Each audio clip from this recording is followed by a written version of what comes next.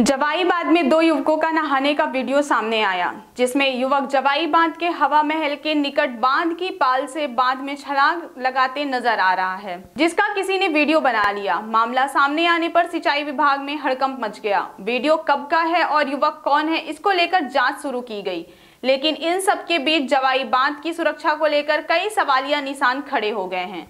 दरअसल बुधवार शाम को सोशल मीडिया पर किसी ने दो वीडियो शेयर किए।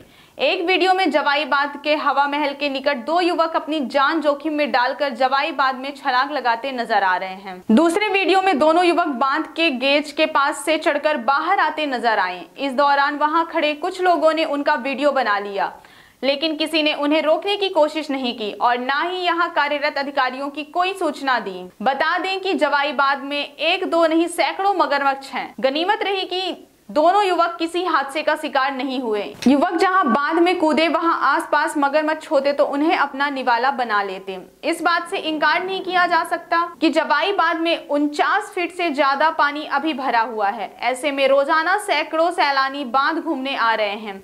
बताया जाता है कि दोनों युवक आसपास के क्षेत्र के ही हैं। जो बाँध की सुरक्षा को धत्ता बता आराम से उसमें नहाने के बाद घर चले गए और जवाई बाँध पर कार्यरत सिंचाई विभाग को इसकी भनक तक नहीं लगी।